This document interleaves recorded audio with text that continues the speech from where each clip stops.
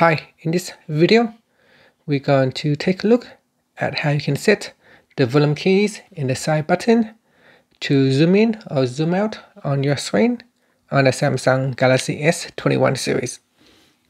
Now first tap on the home key to go back to your home screen, then swipe down at the top and tap on the settings button. Next go down and tap on accessibility, then tap on visibility enhancement Next, go down and tap on magnification. Then tap on the magnification shortcut switch to turn it on. Next, it said that you need to turn off one-handed mode to use magnification. So it said that while using magnification, one-handed mode needs to be turned off temporarily. So tap on the turn off button and then tap on got it. Okay, now that it has switched off, we can then tap on the left hand side panel.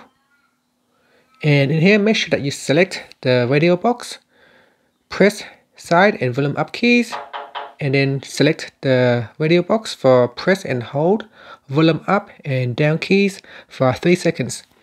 Okay well now that it has switched on now let's uh, test it out. I'm going to press on the volume up and volume down key. Press on both key for 3 seconds so press and hold. Okay, once you do that, there is a another shortcut comes up and then you can tap on it to switch it on. Now the reason uh, why this shortcuts have uh, pops up is because there are multiple functions assigning to the same volume key.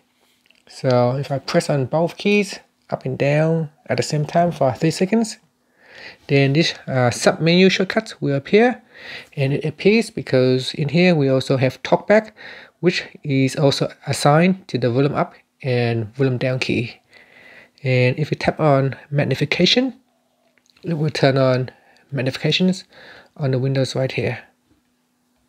And I can uh, zoom in or zoom out. And that's it. So you can also tap on this uh, shortcut here to, and then tap on magnifications and that will also allow you to uh, turn it on or turn it off. And that's it. And uh, if you want you can also press on the volume up and the side key.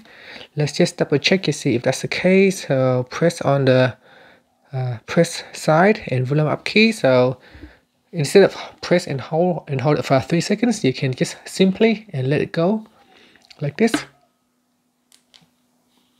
And then it will pops up with a menu and then you can tap on magnification. And that's it. So you have uh, three different options to uh, zoom in or zoom out on your device. Thank you for watching this video. Please subscribe to my channel for more videos